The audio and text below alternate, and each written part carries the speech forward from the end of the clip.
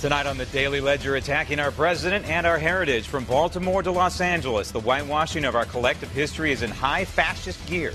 We will examine this culture of hate for both America and Donald Trump. Also, the president fights back against a relentless, vile assault by the mainstream media. Plus, Miami Nice praising local leadership for rejecting giving sanctuary to illegals.